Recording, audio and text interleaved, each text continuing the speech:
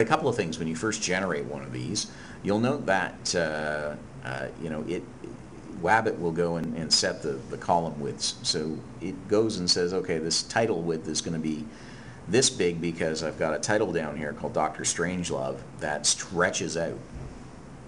So it will fit it to the, the biggest value it can find. The other thing you'll note is, hey, I, you know, I brought uh, title, role, last name, first name, and year, but year's not showing up, and that first name's getting kind of cut off.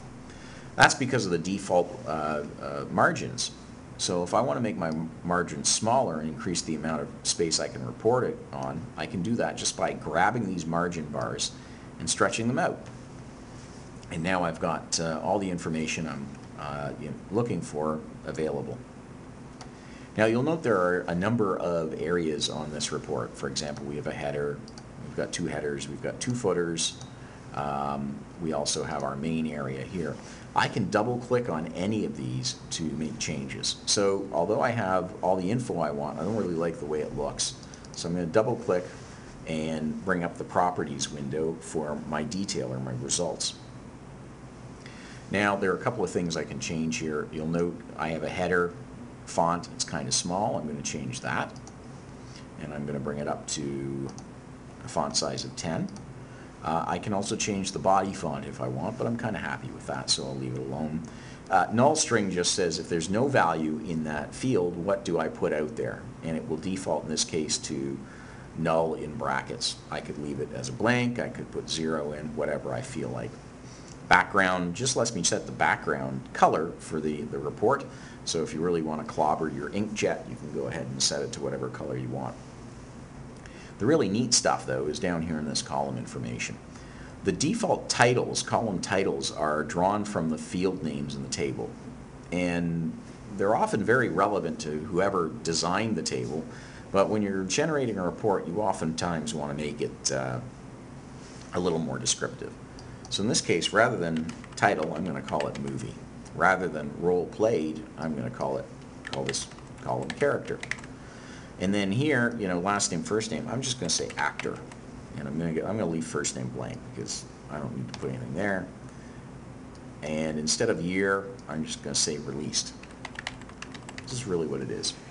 So if I go ahead and click OK here, you'll note that Wabit has now changed my columns to uh, what I asked them to be, something a little more descriptive. Now, I'm still not really happy because it's really hard to pick out where one movie ends and the next begins. So, you know, for example, I've got Apocalypse Now sandwiched between Annie Hall and Back to the Future, and it's a little hard to see, uh, you know, which actors are in which. So I'm going to do one more thing here. I'm actually going to break on column. And what that says is when the value of movie changes, so when I've hit the last Apocalypse Now and I'm going to Back to the Future, put a break in so I can, I can space it out and it's a little easier to see. And when I do that, you'll note that it inserts a line break. So now it's very easy to see, for example, in Apocalypse Now, who the characters were, who the actors were that played each of those characters, and then you can see the break to Back to the Future uh, quite clearly. Now, I've got the format looking the way I want. I've got it uh, more or less the way I like it, but I've got to put a bit, bit more of a descriptive header in. This is the page header that shows up every time. So when I double click on, on the page header space, it will let me go ahead and change this. So I'm going to say, you know, rather than saying header apostrophe, I'm going to say movies and actors. And the font's kind of small, so I'm going to jack that up and I'm going to boldface it so it really stands out. Heck, I'll make it bold and italic. And I click OK, and it's now changed that over. Now, I, right now, the other header section defaults to a, a, a time on when this report was generated. Um, you know what? I don't want that. I actually, you know, want to put in a logo. I want to put the company logo in here because it's important to put it on every page. So I have a uh, add image or insert graphic capability that I can do. So I can just click and add that in, and I'm just going to track down a GIF or a PDF that I want to use. Oh, here we are, SQL Power GIF. I'm going to open that up. One little thing that, that I found uh, Wabit likes to do, it's a bit indiscriminate where it drops the, the image down, so you might have to have a little look around, but once you find it, you can just drag it and drop it where you want it. Now, we have a little bit of a problem here. uh, you'll note that my SQL Power logo is just kind of going over the edge of the page, so I need more uh, space at the top.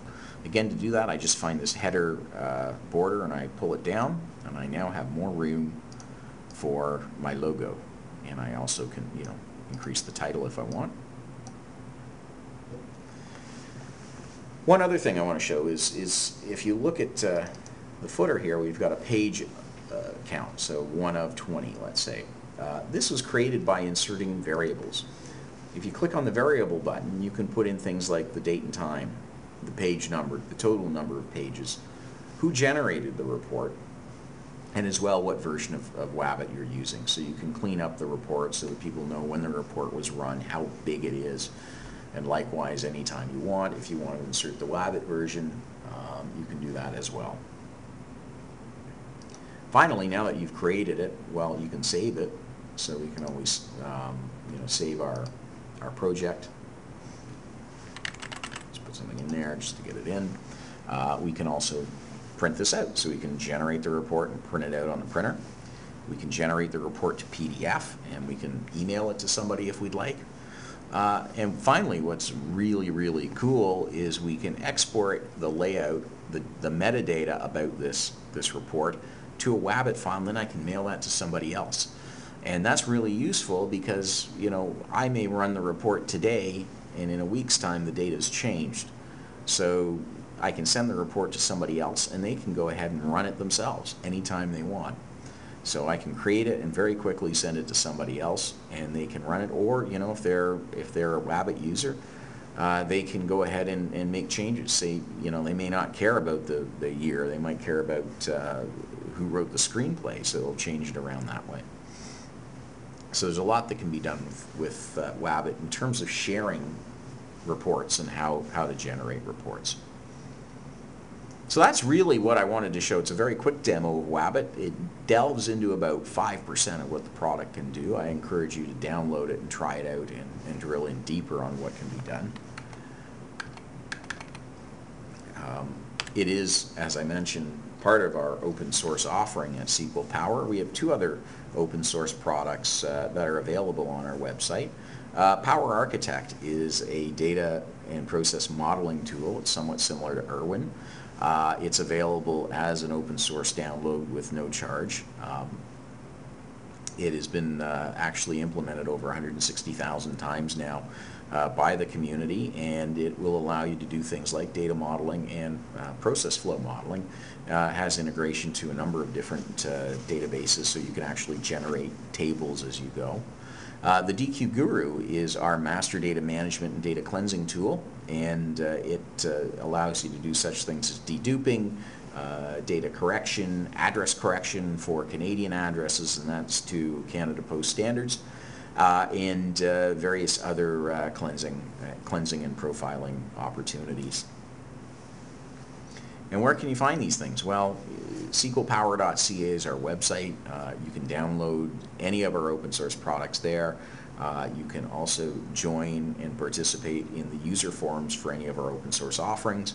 Uh, you can get support from our developers through the forums or from the community through the forums as well. And there's a bunch of other stuff in there. There's blogs and uh, uh, methodologies and the like that you're welcome to have a look at and use. Finally, if you don't have the time to uh, uh, to build up your reports or build up your data warehouse, SQL Power can help. We've been uh, helping organizations with uh, business intelligence and data warehousing now for over 20 years. Uh, we have uh, in-depth experience with pretty much every major BI tool and database out there. And, uh, you know, our slogan says it all, we never fail, neither will you. We've uh, been successful at this for over 20 years now, and we'll be successful with you as well. If you need to reach us, please uh, hit, uh, come to the website. All of our contact information is there. I want to thank you for uh, sitting through uh, our demo. Hope that you found it useful and that you'll download our product and give it a shot. Uh, again, my name is John Kemp, uh, Principal with SQL Power Consulting Group, and thank you.